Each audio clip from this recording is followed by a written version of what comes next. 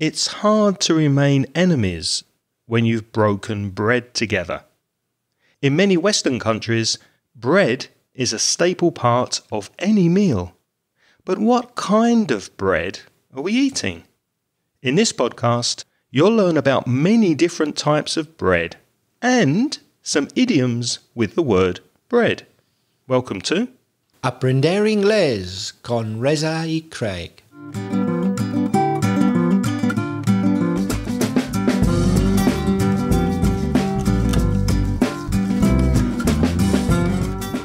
Hello, my name's Craig. And my name's Reza. And with nearly 50 years of teaching between us, Reza and I will help you improve your English and take it to the next level. How are you? I'm doing well, Craig, and you? It's really good to see you. I'm happy to be podcasting with you again. You look wonderful today. Uh, I think so do you. I'm really I'm really jealous of Craig's t-shirt by the way. He's got a t-shirt saying how proud he is to be grumpy and as a professional grump myself as I've been told many times, uh, I'm very jealous of your t-shirt. Where can I get that? What does grumpy mean? Grumpy is grugnon. Yeah, someone who's always complaining about things. Oh, I don't like this. This could be better. That that's me. So I, if I could get my hands on one of those t-shirts, I'd love one. By the way, if you're feeling a bit grumpy because maybe you don't have a job at the moment, keep listening to the end of the podcast because we have a job offer that you might be interested in. So if you're in the job market, as they say, make sure you listen right to the end of today's episode. Well, I don't think we're feeling grumpy today. We're feeling quite good, and partly because of a voice message we've received from our friend Felix from Venezuela. Hello, Reza. Hello, Craig. And this is Felix from Venezuela. This is my first time recording an audio message to you. And I'm doing this because I want to thank you. Thank you for all your job you don't have idea how helpful you are. I have to say that I've been listening to you for a quite long time, and since I've been listening to you, my English improved a lot. Another thing is that I previously listened to your podcast about Venezuela, and I'm glad that my country were were a topic for your podcast, and you were alright in several things. Well, and this is all I just have to say. Thank you, and I'll be listening to you. Bye. Thank you very much, Felix, for sending in your message. It's really good to hear from a first time caller. So well done on recording a voice message and practicing your English, which is very, very good. I really thought your pronunciation was good. Reza, any comments? Thanks very much, Felix. So your first message, but you've listened to many episodes. Maybe you you could become an alcoholic. That's remember A I R C K, not someone who drinks too much alcohol, but someone who listens to too many of our podcasts. We'd love you to become an alcoholic. Your message was fantastic, wasn't it, Craig? It was very good, and you used the present perfect continuous with listen very well I've been listening to you. In fact, you used the verb listen four times and three times with the preposition to, but just once you forgot. You said, I listened your podcast about Venezuela. So, not really for you, Felix, because I'm sure you know you need to after listen. You listen to something. But for everyone else listening, please remember it's a common mistake that we hear many times. You need to after listen. You listen to something. And another small thing, Felix, you said, I'm glad that my country were a topic. I like the way you use glad instead of happy. You're varying your vocabulary. Well done. But topic is singular, so was a topic. I'm glad that my country was a topic. One more little thing. I think you said, Felix, but I'm not sure because of the audio. It might be the quality. I think you said, my English improved. But it would be better to say, my English has improved because you're talking about something that started in the past and it's relevant now. So it's better to use a present perfect. My English has improved. Felix is from Venezuela and he was speaking about an episode of the podcast we created about the country of Venezuela. If you want to listen to that and see a picture of me on a donkey in Venezuela, go to inglespodcast.com slash 349. Craig, I was born and bred in Belfast. What about you? I was born and bred in London, but that's not bread that you eat, is it, when you say born and bred? What does that mean? Well, I was born in Belfast. My mother gave birth to me, but I was never a piece of bread. no, I wasn't a piece of bread or any type of bread. Uh, the word bread there was to breed, B R E E D, is an irregular verb. Breed, bread, bread. And it happens to be exactly the same pronunciation of our word, B R E A D, pan, also bread.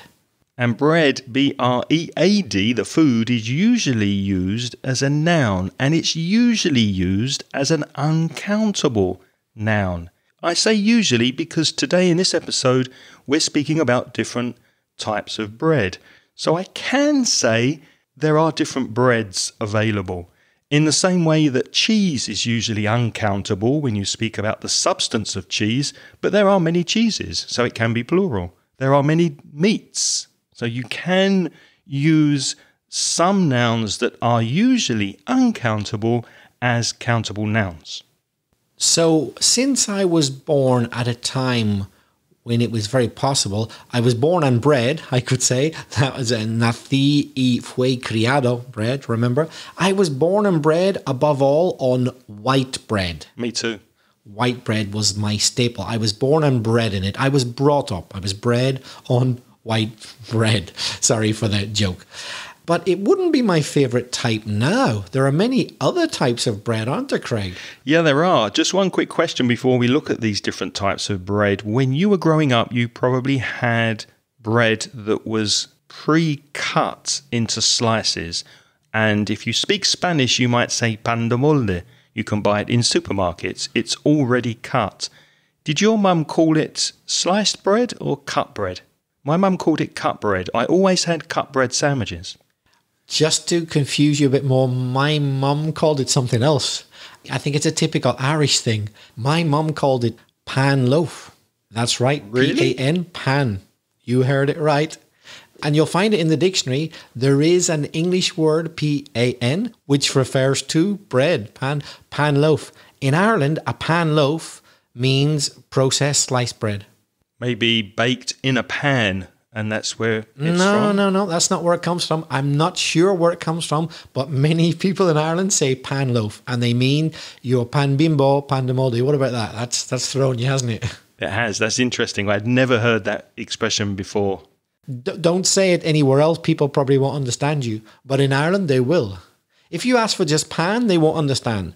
But if you ask for a pan loaf, they'll know that you want sliced bread. Okay.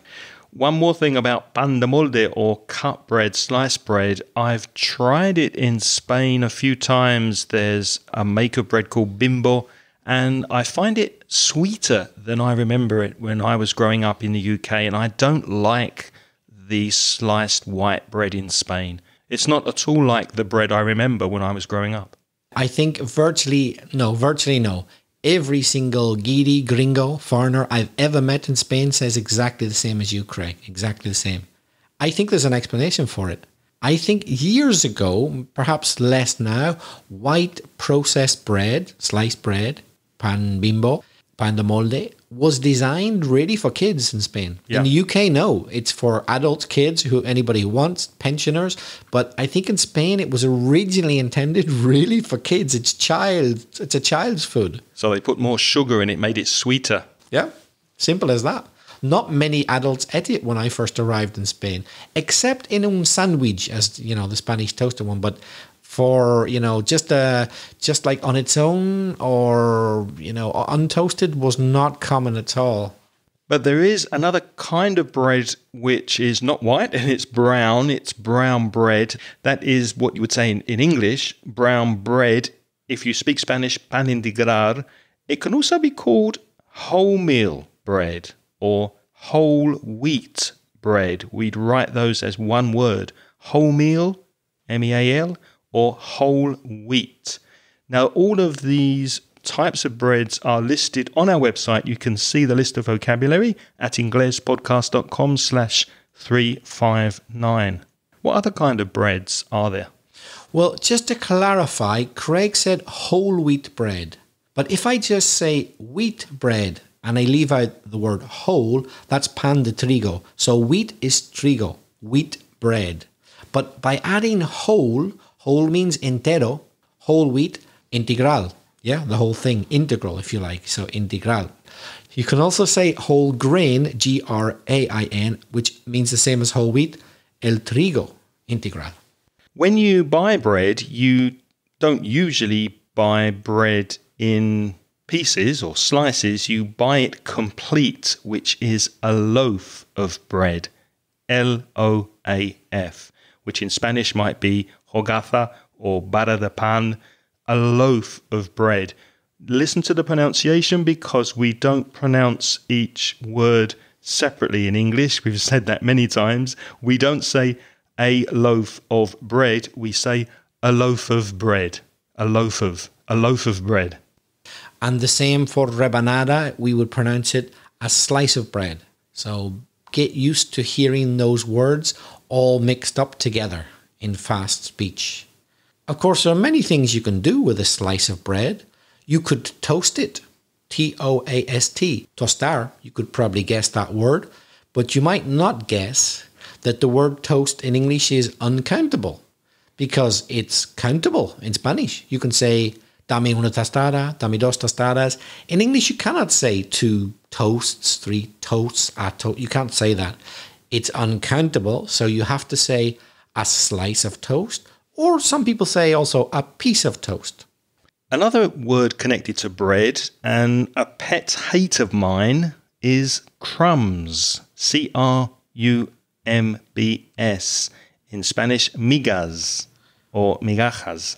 Now, what do you mean by it's a pet hate of yours, Craig? A pet hate is something that really bothers me, that really annoys me when I see crumbs on the tablecloth or if I cut bread into slices and there are crumbs in the kitchen.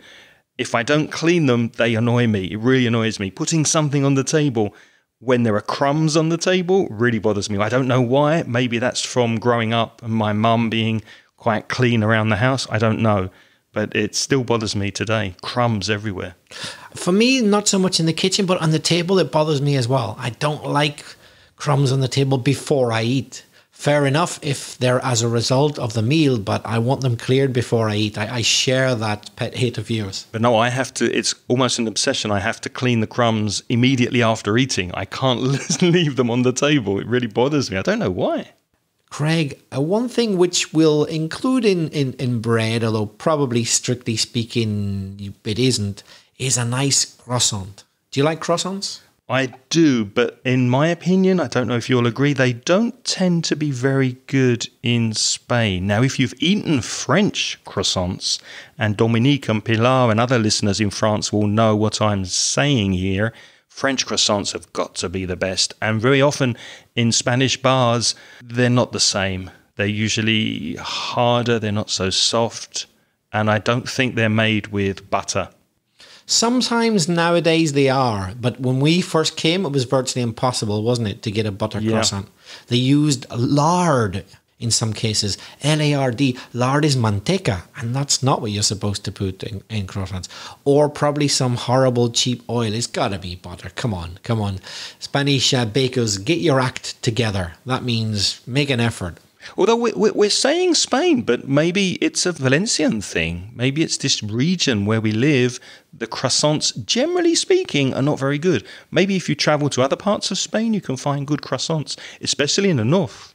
Well, you you might be right, although there is one thing which is fairly universal in Spain. The quality may be particularly bad in this area, but they've got that obsession with painting them with sh- that sugary liquid. Yeah. Oh, they and you don't always do that in Spain, but often you get a sugary solution and you paint that. You never do that in France. That's not a croissant.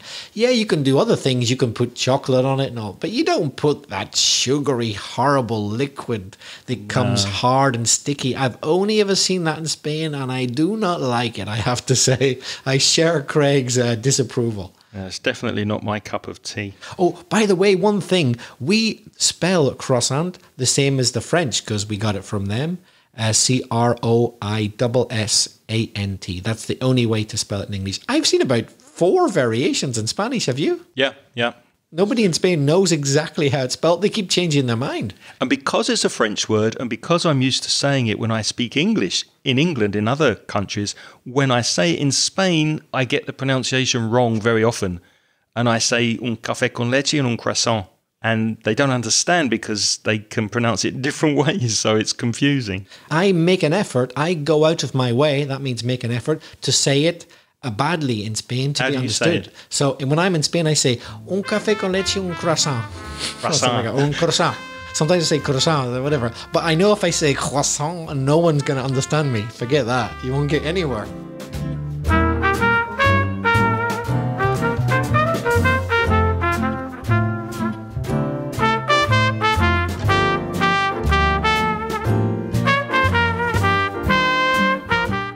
Another type of bread is rye bread, R Y E, pan de centeno. And this kind of bread can be light or medium or dark in colour depending on which part of the rye berry you use to make the flour.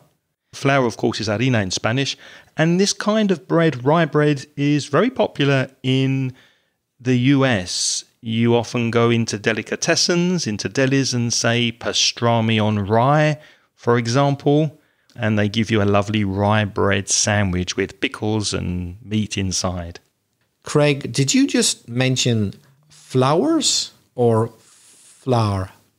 Well, for me, it's the same pronunciation. Flower in the garden, F L O W E R, and flour to make bread, harina, F L O U R, is exactly the same pronunciation in the south of England. Flower. Do you say it differently? I do, but I and of course I was just teasing. I was just making fun. I knew exactly what you were talking about from the context, but a lot of English speakers, in fact, the majority don't pronounce it that way. Let's see if it works. In an American accent, I might say, "I need flour to make my bread," and "Oh, the garden's full of lovely flowers." It's definitely different. So you're emphasizing the R sound on Yeah. flour. Yeah, and I would say that there's more of a distinction that there are two syllables, flower, whereas the arena is flour. Okay, so it's a very soft R, isn't Yeah. it? Flour. And it kind of joins into one. Fla- well, no, it's not soft, but it's like it, it's almost like one syllable, flower, whereas the el flor is flour. Like, Yes. uh, a slight, there's, a, there's a slight difference for me being Irish and for Americans as well, I'm sure, and Scottish and a few others. But yeah, I know in Oxford English, it's the same pronunciation. Another type of bread from Germany is pumpernickel. Lovely word to say. Pumpernickel. Pumpernickel bread. It's a type of rye bread. Have you tried pumpernickel? I think I have. I'm not sure. Is it that really heavy bread? Yes. Yeah, And it- dark, very dark in colour, I think. So yeah, dark rye bread. Yeah, one small slice of it because it's very filling is what I would I could eat, but I wouldn't have it often. And it doesn't tend to be soft. It, it's usually quite hard. Maybe that's that's one reason I don't like it. I like very fresh, soft bread that's crusty on the outside. Crusty is hard and crunchy when you bite it. So that's how I like my bread. Do you like multigrain bread? Yes, I do. We can get multi-grain bread in my local supermarket, multicereales in Spanish. But um, how is it made? What kind of grains are in that bread? It depends. There's there's all different types you can put in. Flax is a common one. Flax is the seed which gives us linen, the material. So flax is lino in Spanish. Oats, avena, barley, cebada, and lots of other grains, but those would be the most commonly found in multi-grain bread. I know there's one kind of bread that's very close to home from you and very popular where you grew up. That's soda bread. What's soda bread? Yes, that's an absolute essential in Irish cuisine, a very staple, a basic part of the diet. It's an Irish bread made from wheat flour and something called buttermilk.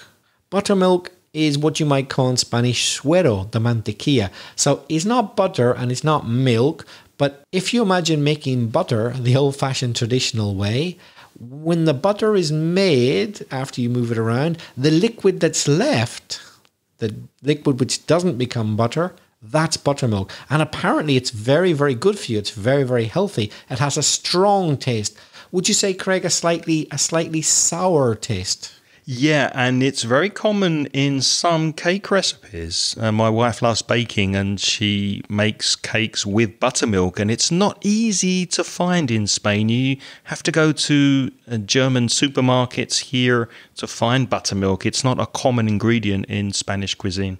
We'll, we'll give a, a little bit of free publicity, but only in the interest in, of cultural cultural awareness. You can get it in Aldi, and you can. I, I don't know if maybe it says suero de mantequilla or Buttermilch. You can see it in the German. It's very Butter, similar. buttermilch. Buttermilch or something like that. so uh, it's fairly popular in Germany as well.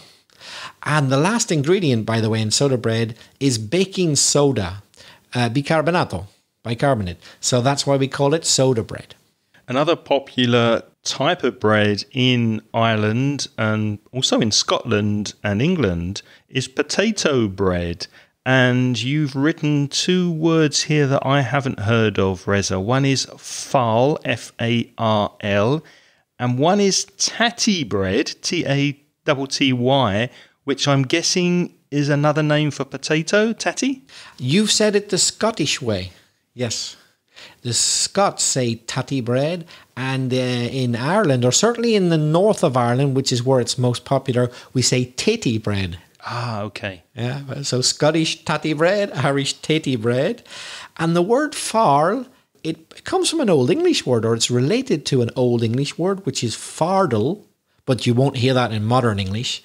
And it meant a fourth, a, a quarter, because the traditional way to make potato farls is a round, more or less round, flat thing which you cut into four pieces, and each one is the farl and that's the traditional way you see it today. So it's kind of like if you can imagine two sides are straight and the other side is is curved. That's your farl. I remember seeing that when we were in Ireland, yes. So it's it's a classic. That's the typical format for teddy bread, as people say in the north of Ireland. So when you make bread, most bread, you need flour, as we mentioned, and water, maybe some salt. And when you mix the ingredients together, you get a substance called dough. Now, the spelling might confuse you D O U G H. The pronunciation is dough, the same vowel sound as no or go or throw, etc. Dough. And dough, if you speak Spanish, is la masa.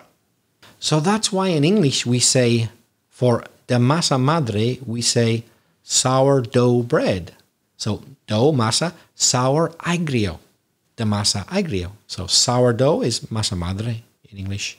By the way, to digress for a second, dough is also a colloquial slang word for money. Where you might say pasta in Spanish, you can say dough to mean money. I have no dough on me. I have no money. A word that you will know because it's exactly the same in Spanish but with different pronunciation perhaps is donut. Think about that. Dough, masa, and nut. Now, we don't mean fruto seco, that's one meaning of nut. And we don't mean un loco, that's another meaning of nut. but nut can be something round which goes around a bolt. A bolt is like a screw, un tornillo. And if you get something round which screws around that, that is a nut. Nuts and bolts is a common collocation. So that's why we call it a donut because it's round, like this metallic round thing that you put around um, a bolt. So that's why we say donut in English. And you've copied the word from Spanish. Notice that the Americans, although they spell the word dough the same as us, When it's donut, they write D O N U T, whereas in British English, we write D O U G H N U T. If you're an optimist, you see the donut. If you're a pessimist, you see the hole. Speaking of America, hamburger and hot dogs usually are served in a bun or a bap, pieces of bread that don't really have a lot of taste because the focus is what's inside the bread, the hamburger or the hot dog. So a hot dog bun, B U N, or bap, B A P. Something similar to a hamburger, hot dog, bun, or bap is a bread roll. Or sometimes we just say roll if the context is obvious. And that would be a panecillo, so a little, much smaller than a loaf of bread, for example. One of my favourite things in life, one of life's little pleasures, is French bread with brie cheese in France. Beautiful French bread, or you can say a French stick, S T I C K. In Spanish, that would be um, baguette, or well, that's a French word, baguette or bâton. So, French bread is the long bread that you can buy in many supermarkets. Another French word which uh, we use in the world of bread is brioche. B R I O C H E. I think they're beginning to become quite popular now in Spain. They're a sweet yeast bread with eggs and butter. This word yeast, Y E A S T, means levadura. So brioche has yeast and a lot of sugar with eggs and butter. So sweeter than normal bread, let's say. I was quite disappointed because I thought that before the French Revolution, that was a quote from Marie Antoinette. She said, Let them eat cake. If they're too poor to eat or buy bread, let them eat cake. And that sparked off or started the French Revolution. And when I checked that on the internet this morning, apparently she never said it. It's not, it's a false quotation. The translation into French will be brioche because brioche is kind of the cake, cakey kind of bread. Staying with foreign languages, but another one, a different one, Italian gives us the word, uh, forgive me my pronunciation, any Italian listeners, ciabatta. C I A B A T T A, ciabatta. And apparently it means slipper. I didn't know that. Yeah, in Italian it means slipper. Slipper being that thing you wear on your foot at home, zapatilla de estar por casa, they say here in Valencia. Slipper, so ciabatta is a slipper. Funny. And there's another f- very famous Italian bread, and again, forgive me, our Italian listeners, for my pronunciation, focaccia. Is that how you would say it? Focaccia? I think you say it better than me. focaccia flat yeast bread, which is kind of similar to pizza dough. There's that word again, dough, pizza dough. And on the top, there's olive oil and rosemary. Rosemary, if you're a Spanish speaker, is romero, and some salt. So it's quite a salty bread, which is very, very good.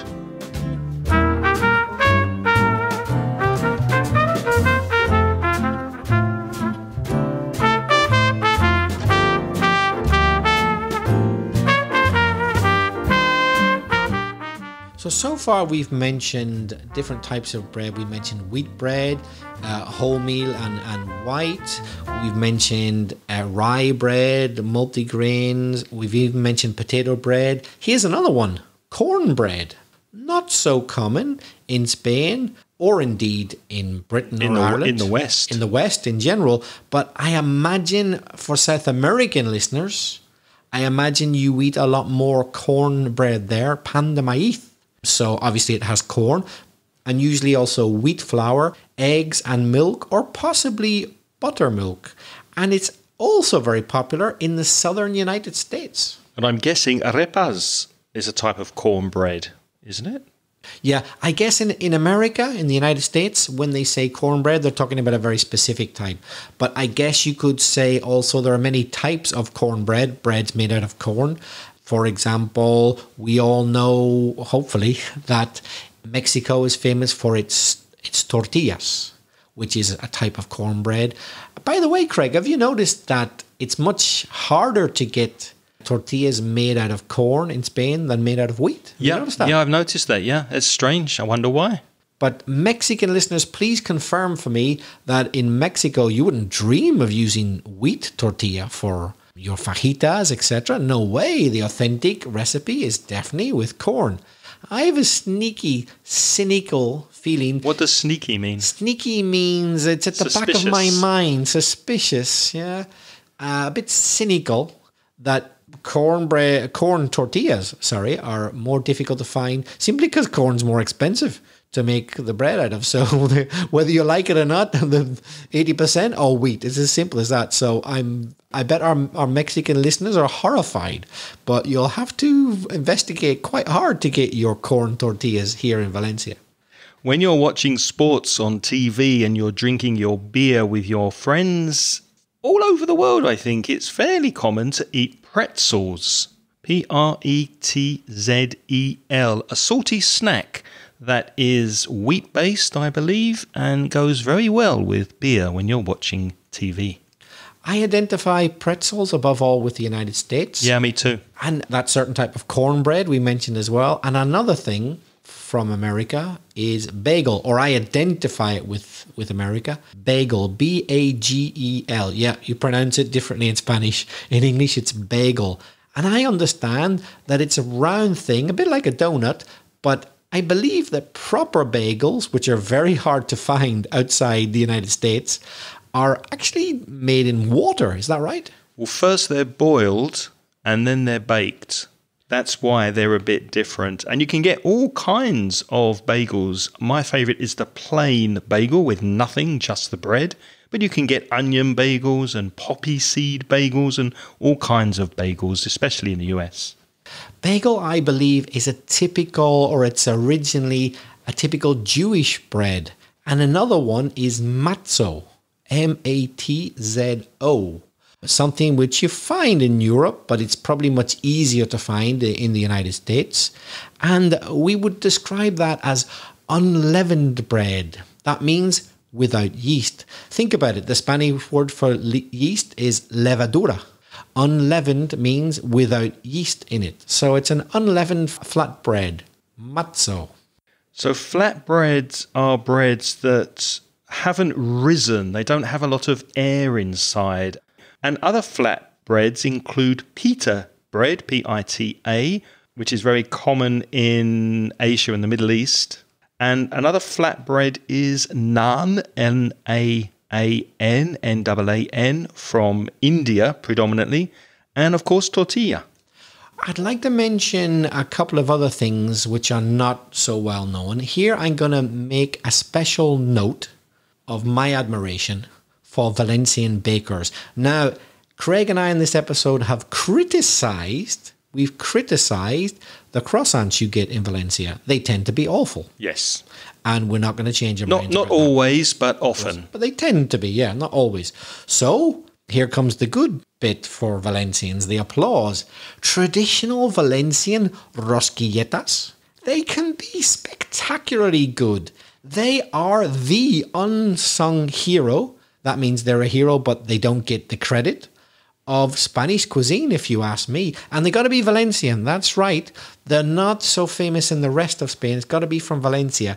They're so much better. They're miles better than that horrible, crappy, mass produced stuff you get in supermarkets, which, sorry, us, uh, a few listeners tend to be French or Italian, grissini or Brezze. No, no, no. The Valencian rosquilleta is a much superior product. Would you agree, Craig? I would agree totally. And having sung the praises of Valencia Rosquilletas, to sing the praises means to appreciate very much and compliment. I think we should also compliment some English baking. And although England doesn't have a fantastic reputation for cooking, two things we do recommend is the English muffin, M U F F I N, which is a round savory, which is salado in Spanish, a savory type of bread, which is very often uh, sliced in two, parted in the middle, and then toasted and buttered. Now, don't confuse the English muffin with American muffins or other muffins which tend to be sweet. So the English muffin is savoury, put some butter on it, absolutely lovely. And there's another thing we can butter, isn't there, Reza, that's English? Yes, and remember, I'm Irish, eh? Craig's English, but I am a huge fan of English muffins and even bigger fan of crumpets. An English crumpet is a fantastic thing. What is it? It's a traditional thick, flat, round, and this is the important bit it's porous. Porous. It has pores in it. P O R O U S. But like holes. Holes, basically, yeah. But they don't go right the way through. Yeah, they don't go through one end and out the other. No. And it's savory and it's yeasty. And it's usually eaten like the muffin, toasted with butter. And the butter must be added when it's still warm so it melts, fundir, through those pores. So if you were to squash it, the butter would maybe like kind of jump out of the holes, right? It's the most delicious thing ever, isn't it, Craig? Well, it depends how much butter you put on a crumpet. And apart from Reza's tip about putting butter on a hot crumpet so that it melts, also use good quality butter. It must be good quality butter, which Reza will tell you is Irish butter. Very, very good. Now, we've given you quite a lot of straight vocabulary, straight, meaning what you see is what it is. What about some idioms when the words don't have their normal meaning? Now, right at the beginning of the show, Craig began with one in this episode. He said to break bread with someone. What did you really mean by that, Craig? Well, it's an expression from the Bible. If you break bread with someone, that means you're sharing your food with them. Now, obviously, you can't do that with someone you don't like or you don't get on well with. If you're sharing your food you have, you're breaking your bread, then you are offering them something that's very, very valuable.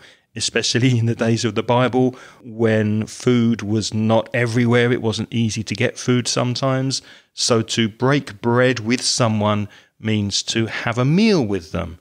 And it's used these days as an idiom to eat together and share good food with friends. If you really like something in English, particularly if it's a new thing or a really useful invention, people often say it's the best thing since sliced bread or the greatest thing since sliced bread.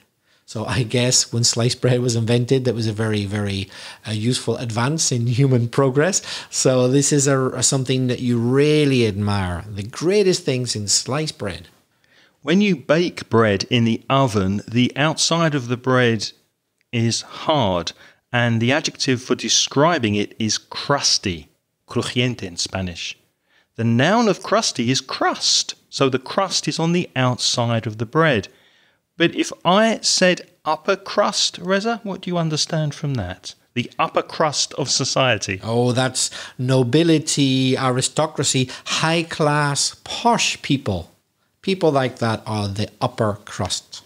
We mentioned crumbs before, migas in Spanish, but the expression, oh, crumbs, you could say instead of swearing, instead of saying a bad word. Imagine you spill the wine on the table, or you you have an accident, you break something.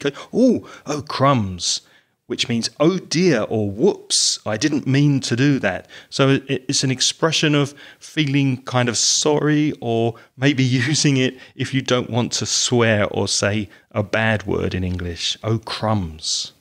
Now, if you're from the upper crust, you definitely live above the breadline.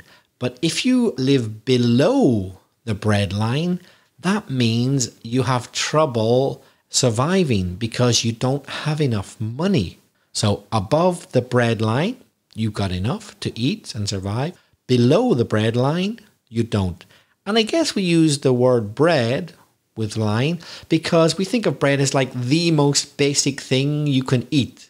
There's nothing more basic and it's usually cheap as well than bread. So if you're below the bread line, you, you don't even have enough to eat.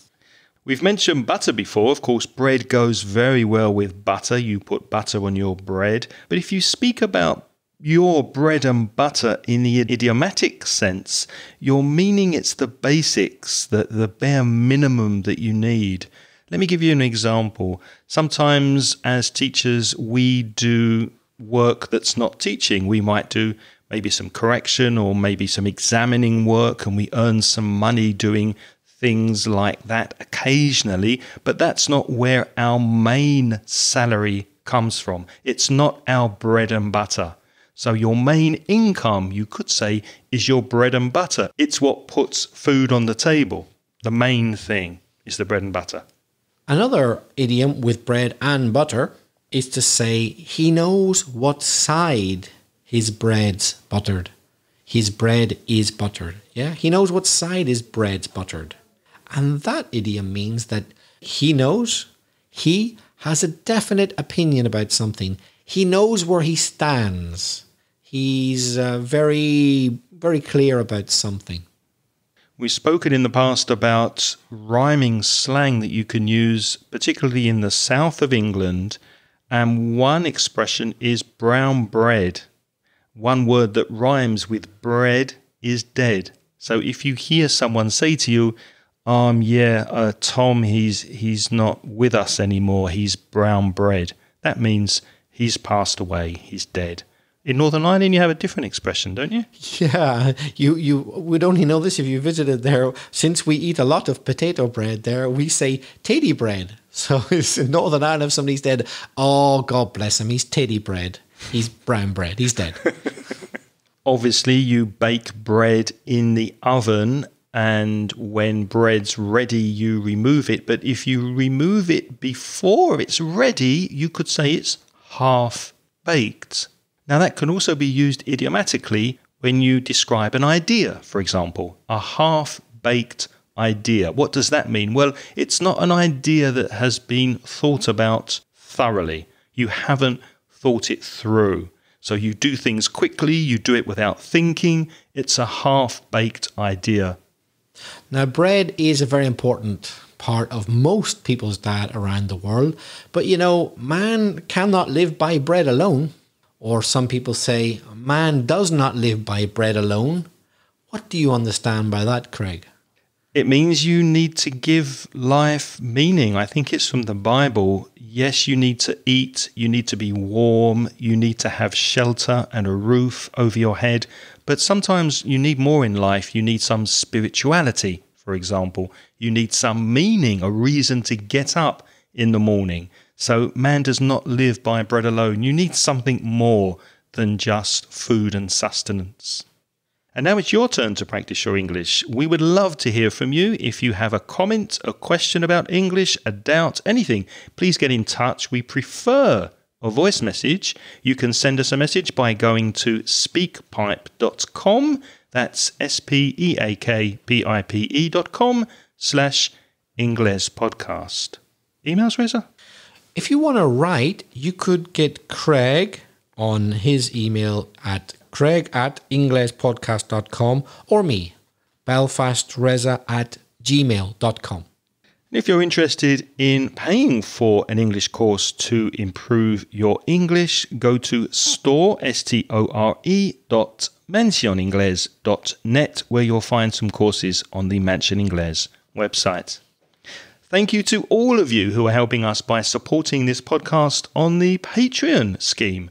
If you would like to join our Patreon program for as little as $1.20 per month, that's including the VAT tax, you get instant access to recent transcriptions. To find out more about that, go to Patreon, P-A-T-R-E-O-N dot com slash Ingles podcast.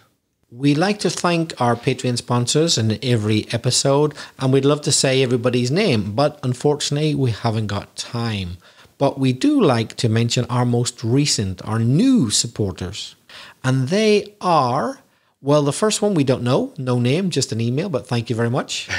Uh, apart Whoever, from that, whoever, whoever you are. whoever you are, thanks very much, the anonymous donor. But we've also got as a new sponsor Jose Pascual Jimeno Mari, Angel Clavijo Martinez, and thank you to Enrique Gonzalvo for increasing your Patreon amount, very generous. And Ricardo Gonzalez, who asks, Do I need to live in an English speaking country to be fluent in English? No, is the answer, really, isn't it? Simple as that. No. It would help, but it's not essential. And you'll learn English very quickly if you go and live in an English speaking country. But no, you can be fluent by doing a lot of listening in your country and also connecting on the internet and speaking with people through the internet. No, you do not have to move. But obviously, if you do live in an English speaking country, you're going to learn much quicker because you're living and experiencing English every day. We also want to say thank you to our gold sponsor this month, Gabitel Ingenieros. What do they do? Well, they're involved in many areas of engineering, but perhaps of interest to you is that they are currently working on an important project in the UK for laying down, that means installing, to lay down, to install, fibre optic cable. If you would like to join their team and work in the UK, they are accepting job applications right now. To apply, you must have pre settled or settled status in the UK. If you don't know what that means, we explain it fully in episode 342 about Brexit. But if you're hearing those words and you know, oh, yes, I have that, or I know what that is, then you are in a good position to apply for this job. So, pre settled or settled status. If you have that status and you want to work for a growing, expanding company, send your CV, your curriculum vitae, or in American English, your resume, send your CV to seleccion at gabitelingenieros.com. Now, don't worry if you're driving, if you're riding a bicycle, if you don't have a pen at the moment, you can't write that down. Don't worry. The email address is in the show notes at inglespodcast.com slash 359. And Gabitel is also expanding in Germany. So if you have a good level of German and you're interested, send your CV to the same address, seleccion at gabitelingenieros.com. And Reza and I would like to thank Rodrigo, Genoveva, and all the good people over at gabitelingenieros.com for being a gold sponsor of the show. What's next week, Reza? Next week, we're going on a trip around Spain. Without leaving our flat. So please join us for that. Until next time, it's goodbye from me. And bye bye from me. The music in this podcast is by Pitts. The track is called See You Later.